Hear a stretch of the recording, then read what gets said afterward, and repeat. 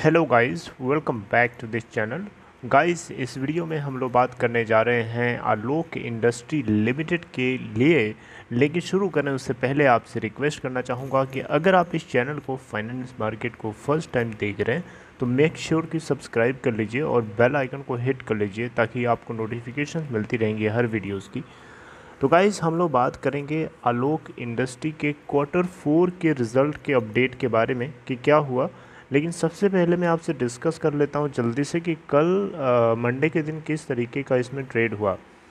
Monday को 23.20 की open price के बाद 22.65 का लो हिट करता है और हाई बनाता है 24.20 का, जबकि इसका अपर प्राइस बैंड 26.70 का लगा था लोअर प्राइस बैंड 17.80 का लगा था। इसका प्रीवियस क्लोजिंग प्राइस देखें तो 22.25 था, यानी लगभग आप देखें यहाँ पे तो 23.20 लगभग पंचानवे पैसे ऊपर, यानी गैप अप ओपनिंग होती है। और अगर आप देखें तो 23.10 के ऊपर क्लोजिंग देता है, जो कि 3.82 परसेंट, यानी 0.85 रुपए 85 पैसे ऊपर क्लोज होता है।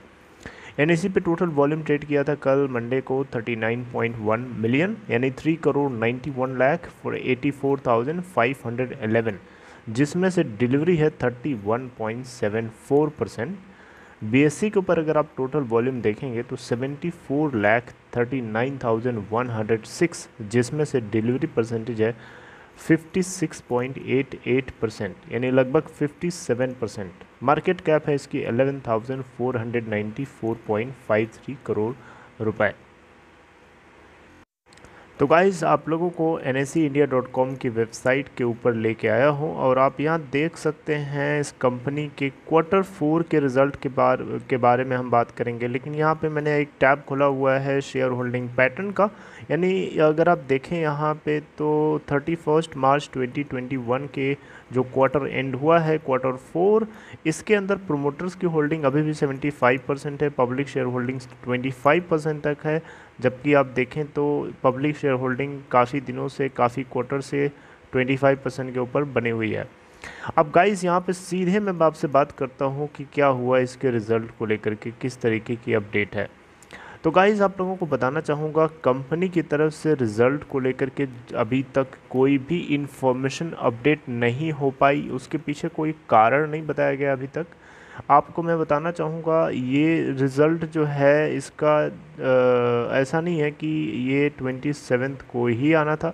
बेसिकली ये रिज़ल्ट आना था आप यह देख सकते हैं मैंने आपको ये डिटेल्स दिखाने की कोशिश कर रहा हूँ।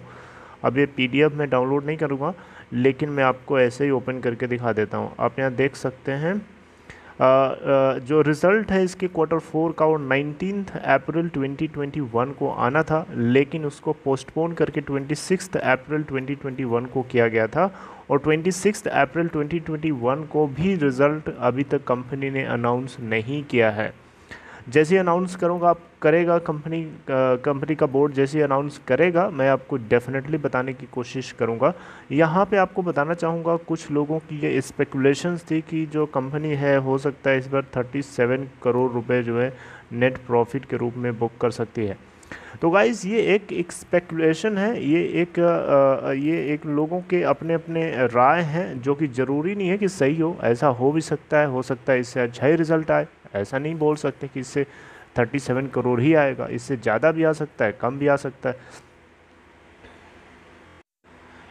इससे पहले दिसंबर क्वार्टर में अगर आप देखें तो कंपनी ने 34 करोड़ का नेट लॉस बुक किया था।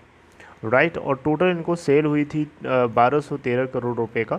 तो देखना बनता है कि क्वार्टर फोर में किस तरीके का इसके अंदर आउटकम हमें देखने को मिलता है। अगर पॉजिटिव रिज़ल्ट आता है अच्छा रिज़ल्ट आता है तो डेफिनेटली कंपनी का जो स्टॉक प्राइस है, आपको इसके अंदर मोमेंटम देखने को मिलेगा। और ये जो मोमेंटम आपको दिखाई दे रहा है लास्ट के दो तीन चार ट्रेडिंग सेशन से, इसके पीछे की सबसे बड़ी वजह यही है कि लोगों की उम्मीदें ज़्यादा हैं कि इसके रिज़ल्ट काफ़ी अच्छे आने वाले हैं।